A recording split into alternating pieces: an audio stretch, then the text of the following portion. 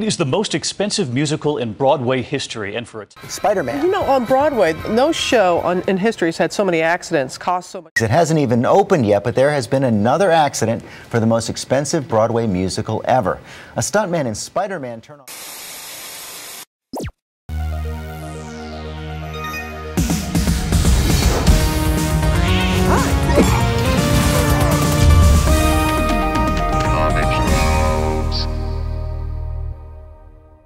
Hello, welcome to Comic Tropes. I'm your host, Chris. Spider Man Turn Off the Dark was a big budget Broadway musical that ran from the end of 2010 through the beginning of 2014. I was lucky enough to see it, lucky enough, and I will say that it had some catchy songs, some amazing stunt work, and a fun romantic take on the Spider Man story.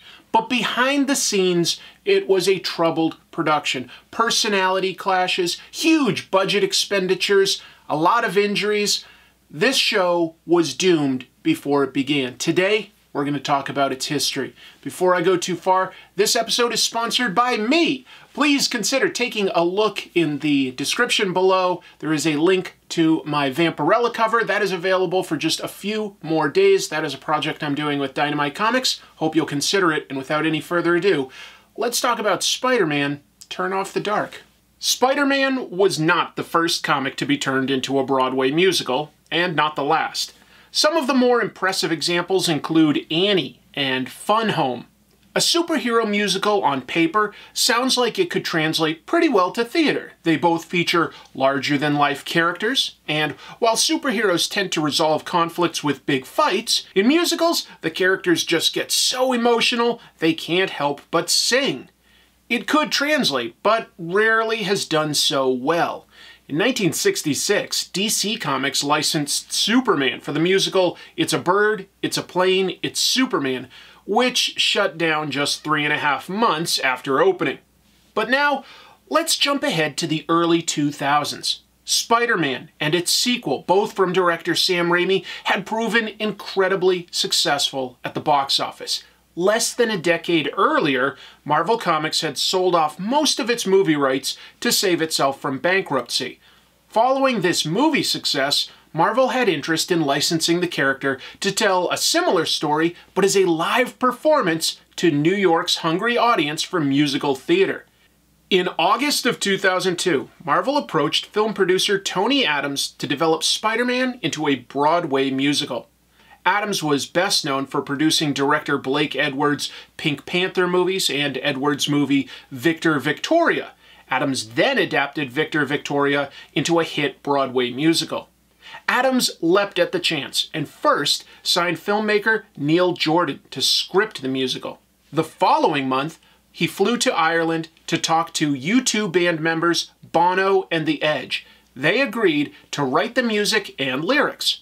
That Christmas, Adams bumped into theatrical director Julie Taymor and approached her to direct the musical. Taymor had achieved massive success with the Broadway adaptation of The Lion King, which went on to become the most successful Broadway show of all time, earning over $1.8 billion as of this year. U2 had touring and album obligations that would slow things down, but everyone gathered at the Edge's apartment in October of 2005 to sign contracts. While the Edge went to grab a pen, Tony Adams suffered a massive stroke and passed away. The man who would oversee everything was suddenly gone, and his responsibilities fell to his business partner and protege, a man named David Garfinkel. Garfinkel had little experience producing and allowed Taymor to run the show the way she saw fit. The Lion King production had Disney telling her no when she went too far from the subject matter, but no one was doing that for Spider-Man. You might be asking, wasn't there anyone from Marvel Comics involved in this production to make sure that it felt authentic to Spider-Man? And the answer is, not really. In 1996, Marvel was bought by Toy Biz. It helped bring it out of its bankruptcy. The CEO of Toy Biz was a man named Avi Arad. He became Marvel's chief creative officer, and he also produced a lot of Marvel's early films. By 2006, he was kind of tired of that role and he stepped down, so he was not involved anymore. A lot of the responsibilities just fell to David Garfinkel, who did not have much production experience. And the contract that Marvel had signed with Garfinkel specifically was to adapt the stories from Ultimate Spider-Man issues 1 through 7, as well as Amazing Fantasy number 15. Ultimate Spider-Man was a reboot of Spider-Man that debuted in 2000 from writer Brian Michael Bendis and artist Mark Bagley. And just recently, Bendis revealed that Avi Arad had approached Bendis to work on the musical's book, the script that tells the story between the musical numbers. He's releasing that story on his Substack newsletter Jinx World and explaining his brief involvement. While we don't know his full story as of the time of this episode, we do know that Arad suggested Bendis' involvement after Julie Taymor refused to work with writer Neil Jordan, who had won an Oscar for his film The Crying Game. Instead, Taymor brought on writer Glenn Berger to assist her. Before I go too far into discussing the musical itself, I need to credit the YouTube channel Turn Off the Dark Archives. Since there is no official video release of this musical, this channel has worked hard to put together bootleg recordings and promotional material.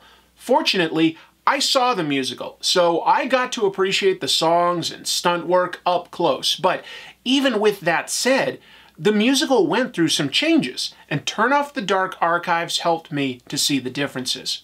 The production itself ramped up, but slowly, as U2 were busy touring, and Garfinkel worked to secure the location and crew needed to fulfill the stunt work and its rigging.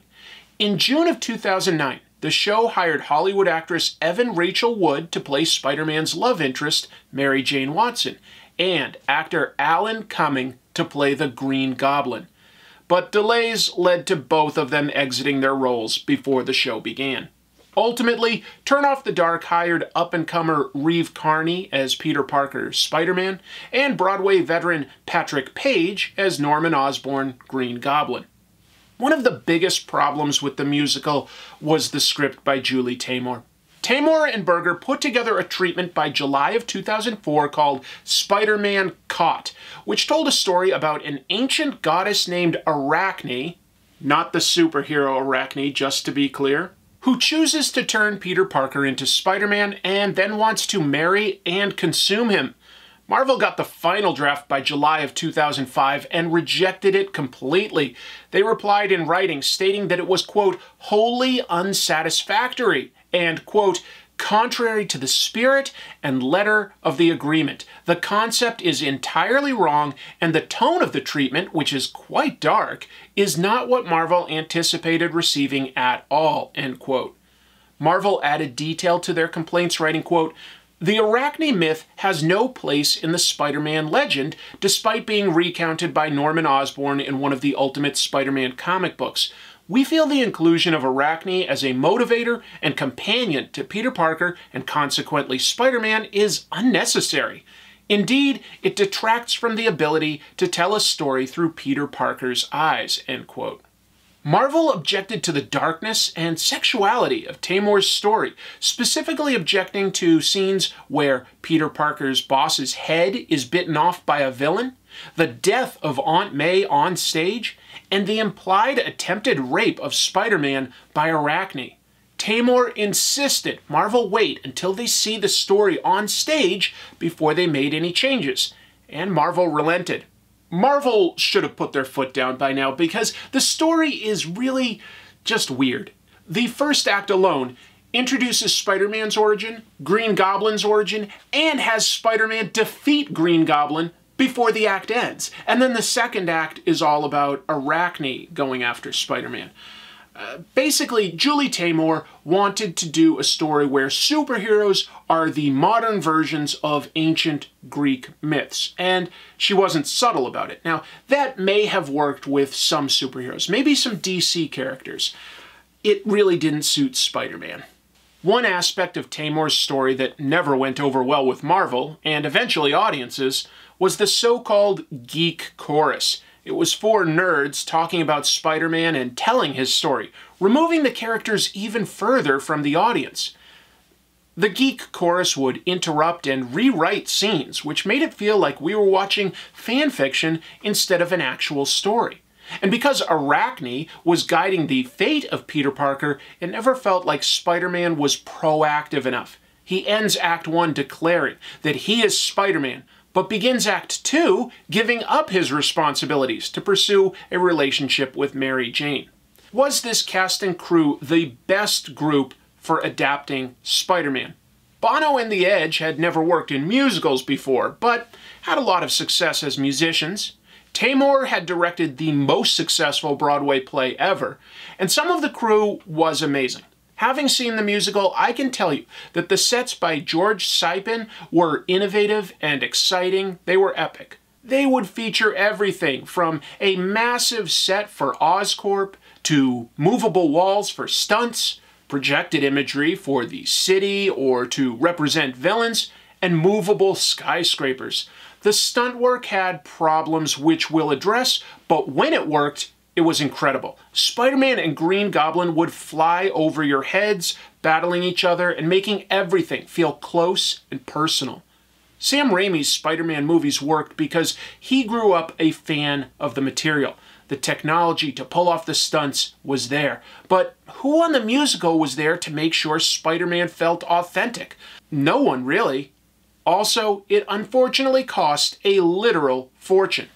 Taymor's play called for a lot of wire work to pull off the stunts, and one of the earliest mistakes by producer David Garfinkel was probably to rent out the Foxwoods Theater, one of the biggest and oldest theaters on Broadway. Sure, as the biggest theater, it could sell a lot of seats, just shy of 2,000, but it wasn't built with the rigging needed to pull off wire stunts. Worse, when the production had to remove parts of the theater to build the underlying mechanics, they had to carefully preserve everything because it was designated by the city as historically significant. The production began renting the Foxwoods for two years before they actually started selling tickets due to various delays. That alone cost $4 million. The flying equipment, similar to what professional football games use to move the cameras across the field, cost over $2 million. Sets and costumes ran nearly $10 million. These huge costs also led to some of the delays because the producers had to put things on pause and raise more money from investors several times. By the time the musical launched in 2011, it was reported to cost $75 million. As a point of comparison, most Broadway shows cost between 5 to 15 million dollars. Taymor originally had Arachne cast a massive web that ran the length of the theater and cost over $1 million alone. But it kept not deploying correctly and worse, snagging onto other wire work, so it did get cut. Turn Off the Dark cost over a million dollars in weekly expenses just for the rigging alone and overall show costs went up when the show was no longer able to get accident insurance because of all the injuries to the cast. Spider Man Turn Off the Dark became the most expensive Broadway show of all time, by far. The second closest is King Kong at $35 million, and then Shrek, which cost $25 million. Not even close to the $75 million we're talking about. Analysts predicted that the show would need to sell out for five years straight just to break even. That was never going to happen. Behind the scenes, Bono and The Edge, Taymor, and Marvel were pointing fingers. Marvel demanded changes to the script, but Taymor refused to budge. By the time it ended, investors had lost over $60 million. But the show did eventually launch, and to be fair, it did briefly hold the box office record for one week, taking in over $2.9 million in January of 2012. It was beaten by Wicked later that year, but Turn Off the Dark still holds the record for the most preview performances. A preview performance is when the show opens to the general public selling tickets, but with the understanding that the story, some songs, other elements may change. It's still exciting for the average theater goer because they get to see what changes get made and they get bragging rights that they saw it first. Now, the average preview performance period is between two to five weeks. Spider Man Turn Off the Dark holds the record for the most preview showings with over 182 previews and over six months of them. During this period, it's not supposed to be officially reviewed by the press, but because it went so long, of course they did, and it got some pretty terrible reviews, which basically added to its reputation. The preview performances began on November 10th, 2010, and the official opening took place on June 14th of 2011. Beyond the issues between Taymor's story and what Marvel wanted, the stunt work had problems, and that's putting it mildly. The first show had to be stopped five times due to technical issues, including the climax at the end of Act 1 where Spidey was just left dangling overhead and stagehands were trying desperately to grab his foot to pull him down. But that was small potatoes compared to the injuries that occurred. Before the show launched, two stunt performers had been injured. In October of 2010, Kevin Aubin was performing a stunt as Spider Man where the wires essentially slingshot him across the stage, and he shattered both of his wrists while bracing for the impact. Another actor told the New York Times that he had broken a toe during the same stunt earlier that month. It prompted the New York State Department of Labor to investigate and cite the production. The Occupational Safety and Health Administration, OSHA, later fined Turn Off the Dark over $12,000 in March of 2011 for safety violations. Actress Natalie Mendoza played Arachne and was struck in the head by flying equipment on the evening of November 28th, which gave her a concussion, and she soon took a couple of weeks off to recover. On December 20th of 2010, one of the most serious injuries took place. Stunt performer Christopher Tierney was supposed to leap off a bridge to catch Mary Jane. In footage from a theater goer shared with the Associated Press, you can see that the harness meant to hold Tierney instantly lets go. He fell over 20 feet into the orchestra pit below, suffering a skull fracture and cracked vertebrae. Fortunately, Tierney went through rehabilitation and even returned to the show on April 25th of 2011. Actress T.V. Carpio replaced Mendoza as Arachne and encountered a neck injury on the March 16th show. She left the show for two weeks to recover.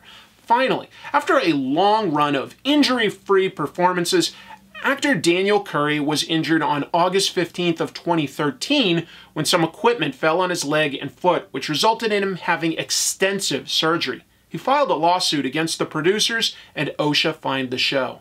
Still, if you were lucky enough to see the show on a night when everything went right, the stunts were pretty incredible. What wasn't incredible was the story. The producers and Marvel knew it, but Taymor refused to make any changes. Eventually, the show brought on a new writer to revise the musical's book, Roberto Aguirre Sacasa. He had experience writing both plays and comic books and came on board on February 11th. Taymor quit in March and sued the show for conspiring to fire her.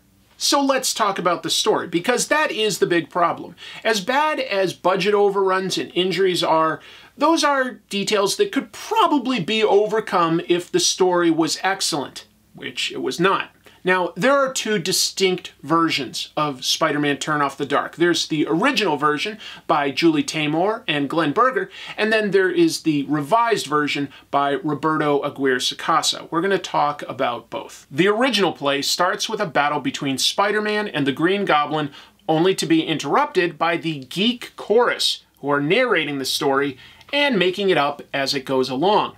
Gigi, the only female member, explains Spider-Man wasn't the first person to have spider powers, and she tells the story of Arachne. Arachne was the best weaver in the world, which made the goddess Athena jealous, and she caused Arachne to hang herself. Arachne is then further punished for trying to be better than the gods and turned into an immortal spider creature. Dark stuff that's not very Spider-Man related, but I will admit the dancing and weaving in this song is amazing. Then we cut to Peter Parker reporting on Arachne at school and reminding the teacher to assign them homework. The second song is called Bullying by Numbers and has Flash Thompson and his friends beating up Peter. Peter walks home and talks with Mary Jane, his crush. It transitions into a song where Peter is told by his Uncle Ben to rise above the bullies, while Mary Jane deals with her abusive father. Next, we go to Oscorp, where Norman Osborn has a wife, Emily. This is a change from the comics, and there is no Harry Osborn in Turn Off the Dark. The Osborns are working to alter DNA so that people can survive climate change. Their work is interrupted by Peter, Mary Jane, Flash, and their fellow students visiting on a field trip. Peter talks about how female spiders put out a sex lure. Then Norman breaks into a song about how changing DNA will save the world. It's weird, but the Osborn set and group of dancing students is exciting. Peter gets bitten by one of the experimental spiders, and then the geek chorus interrupts to talk about how awesome that is for Peter. But GG explains that it wasn't random luck. Peter was a chosen one, and the fates had decided that he would get spider powers. And I gotta interrupt here to say, I think that this fate piece really takes away from an important aspect of Spider-Man. Stan Lee always said that it could be anyone under Spider-Man's mask, and that was part of his appeal. Peter Parker's everyman status really made it more impressive when he overcame the odds to defeat his enemies.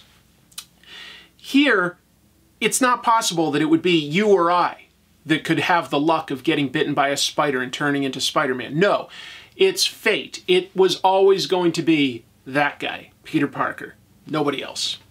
Peter wakes up the next day to realize he has powers, and he jumps around his room in the first real bit of stunt work and sings one of the songs I enjoyed a bit more than the others, Bouncing Off the Walls. Peter beats up the bullies at school and decides he needs a car to impress Mary Jane. The geek chorus once again grind things to a halt, talking about how excited they are to see Spider-Man in his costume only for Gigi to say it's unrealistic for a teenage boy to be able to sew well. We witness Peter enter a wrestling ring against Bonesaw to win some prize money. I have to admit, I did not love this part, as Bonesaw is represented by something that looks like it should have been inflated only on Halloween. But that isn't important. Peter walks home and doesn't help Flash from getting his car stolen, only for Uncle Ben to come out to help and he gets run over. That's not as good as in the comic books, where Peter avoids stopping a thief at the wrestling hall only to find that that same man later robbed and killed Uncle Ben. That's where we get the whole with great power there must also come great responsibility line. While the story in the musical isn't as good, it does prompt Peter to sing what I will argue is the best song of the musical, Rise Above.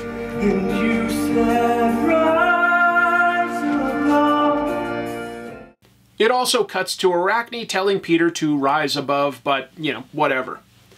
Spider-Man then swings through the city, making his heroic debut and flying across the theater. Then we cut to the Daily Bugle newspaper, where publisher J. Jonah Jameson is mad that Spider-Man is getting attention. Peter shows up selling Spider-Man photos.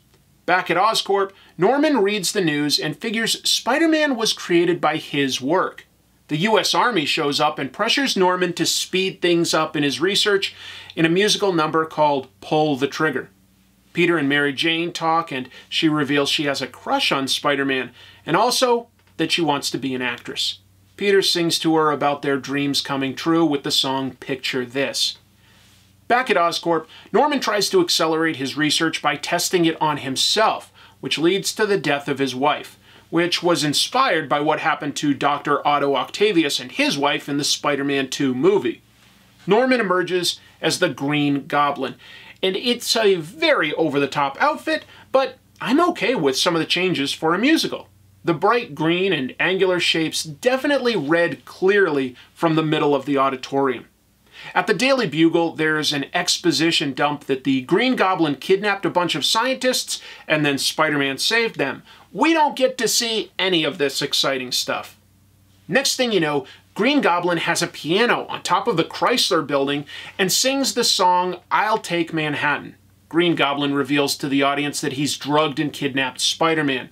He says he's like Spider Man's father since his science gave him birth and asks Spider-Man to join his criminal takeover of the city. Spider rejects the offer and, you guessed it, the geek chorus stops everything. The geek chorus changes the story by saying the Green Goblin has Mary Jane as a hostage. We then have a big battle with a lot of flying stunt work. The geek chorus decides that Green Goblin gets webbed to the piano, and when Green Goblin tosses it off the building in anger, he accidentally drags himself down to his death. Peter saves Mary Jane, and Arachne looms overhead. That's all in just Act 1. Act 2 starts with the geek chorus wondering where to go from there with Spider Man's story since they hit all the important beats of his story. Gigi speaks up to say Spider Man hasn't faced his ultimate enemy yet. They then introduce some new villains in what they call a villain fashion show to decide who should be the ultimate enemy. This is essentially the Sinister Six, although the only members from the comics are Electro and Kraven. Both look a bit different, but they're cool enough. There's also Lizard, who is a lot less interesting as he's basically just another inflatable bobbing around. To round out the group, they have the obscure villain Swarm, a man made of bees, Carnage, without any real origin story, and Taymor's personal addition, Swiss Miss, a lady that looks like she's walking around in aluminum foil with some knives. After that, Peter shows up late to work and complains about being late to school and late to dates with Mary Jane. When he finally goes to sleep, Arachne sings the title song, Turn Off the Dark, talking about how she wants to mate with Peter. But Peter is awakened from the nightmare by a call from Mary Jane. Peter briefly interacts with the geek chorus directly here, telling them that he was just having a dream. He shows up late to Mary Jane's first acting job, apparently in a musical version of The Fly. Because they're having trouble in the relationship, Peter decides to quit being Spider Man. He just finished Act 1 deciding to be Spider Man, and now he's quit before he really does anything. Arachne gets a musical number here called Think Again, where she gets angry that Peter is wasting the gifts that she's given him. Peter announces his love to Mary Jane at a club, and they kiss, only to be interrupted with a blackout. Then Green Goblin begins transmitting a message on screens, and the geek chorus speaks up, getting confused as to what's happening. I thought Green Goblin was dead. Well, Arachne's musical Furies explain that they are now in charge of making the story. The Goblin announces that he and the Sinister Seven will destroy the city, and they have a song called Sinistereo where they wreak havoc while Peter and Mary Jane cuddle at home during the blackout. At this point, the worst and most infamous song begins. In the song Deeply Furious, Arachne gets jealous of Mary Jane and sings a song about getting shoes. She has her Furies stealing shoes and singing along with her. It's awful.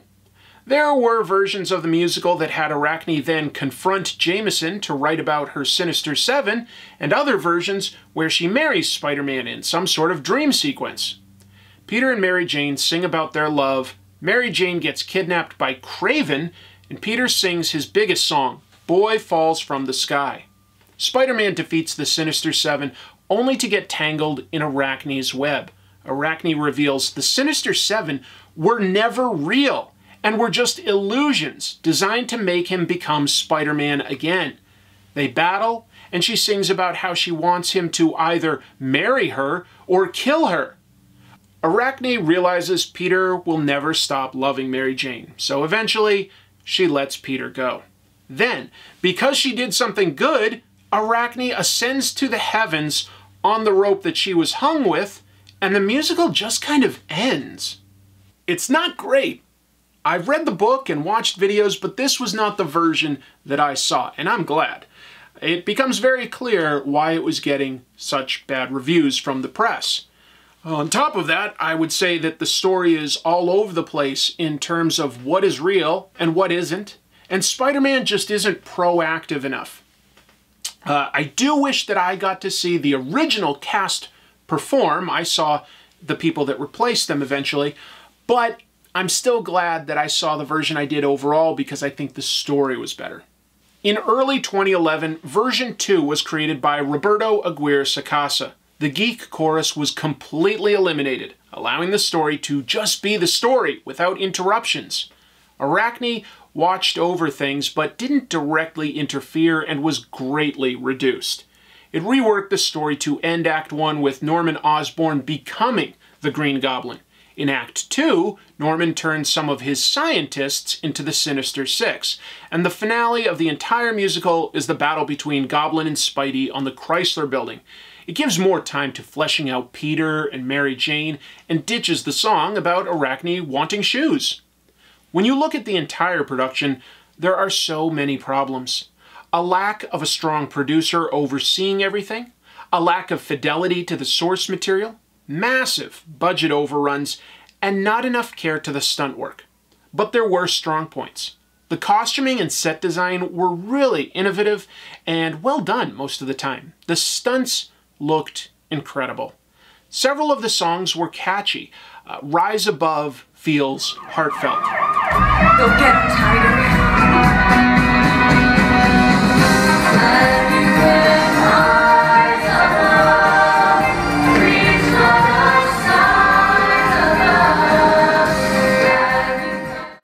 A Freak Like Me Needs Company is a catchy number, and Patrick Page may be playing the Green Goblin campily, but it totally works on stage. Stretch, I got an axe to strike.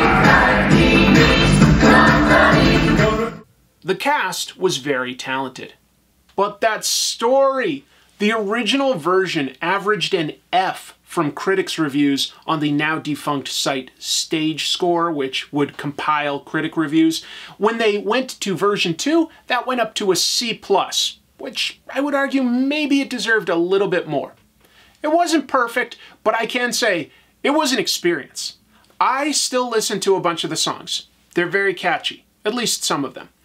And it was fun. It looked good. It did look good. Uh, the actors were competent and great. I honestly think that basically, if they had decided instead of putting it in the most expensive and oldest theater on Broadway, to create this as more of like a traveling circus show or put it in a modern venue in Las Vegas, it probably would have turned a profit.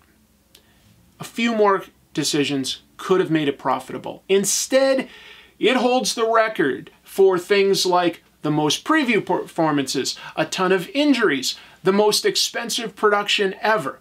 But, as any fan of Spider Man can tell you, takes more than bad press to keep Spider Man down.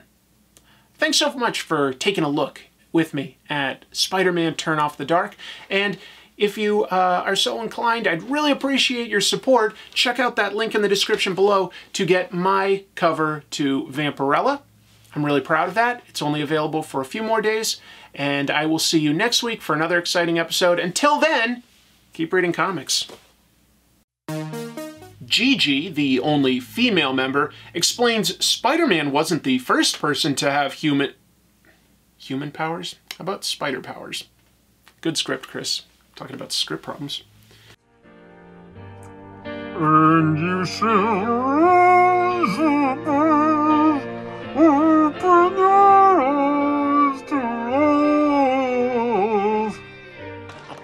I know exactly who this is. There's a comic book that we saw in the package last week. This might be Chris